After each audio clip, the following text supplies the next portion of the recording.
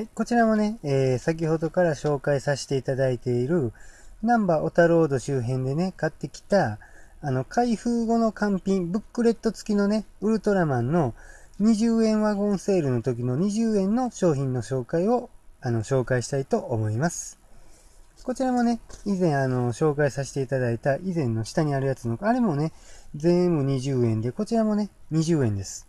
で、こちらはね、えっ、ー、と、ラインナップが、えー、ブックレットのね、ウルトラマンコスモス。地震起きてるんですけど、ほっといてくださいね。あの、しまちゃんが悪さしてるんでね、このね。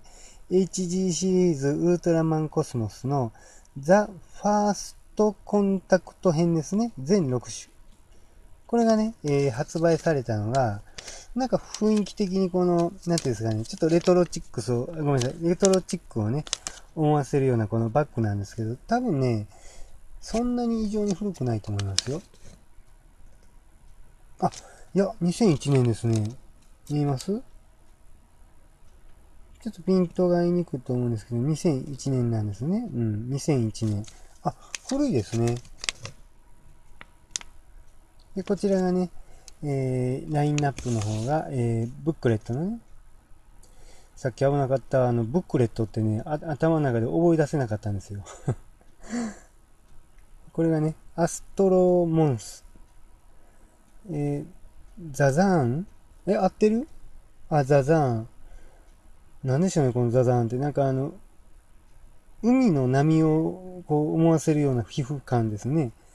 で、次がね、えー、ベロクロン。で、これがね、今回出てきた、あ、出てきた違う。あの、今回この、えー、買ってきたね、えー、ウルトラマンコスモスコロナモードですね。ああ、よく聞きますね、これ。あ、これかっこいい。バルタン星人。バルタン星人ってかっこいいですよね。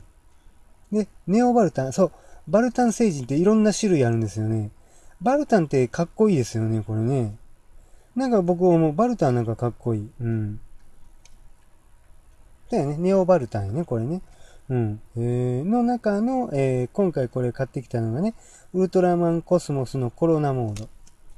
で、こちらのね、えー 出来具合がね、こんな感じで、まあ、これをね、この、わかります？この、雰囲気をちゃんと合わすと、まあ、ここの位置ですわ。もうちょっとか。ここの位置ですね。はい、こんな感じでね。うん。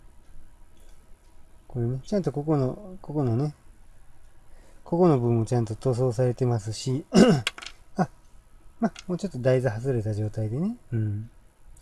こんな感じになってます。これね、20円ではね、買う側は絶対安いんですよ。ほんで、これがね、なんか初版かね、第2版か第3版とか、確かここを見るんですよね。こういうところ。なんかこれ四つ星じゃないですか。ほんで、僕ちゃんと分かってないんですよ。なんかね、間違ったらごめんなさいね。これが初版だったら三つ星とか、あの、二つ星とか、えー、一つ星とかね。でもね、毎回同じルールじゃなかったと思うんですよ。なんか昔ウルトラマン好きがいて教えてもらったんと、あのたと思うんですよ。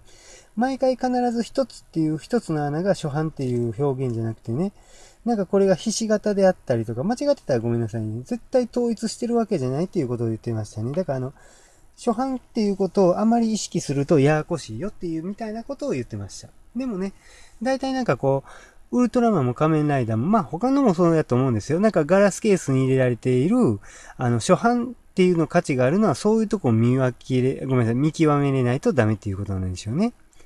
はい、今回もね、こちらのウルトラマンの ワンゴンセールのね、20円で買ってきた商品を紹介させていただきました。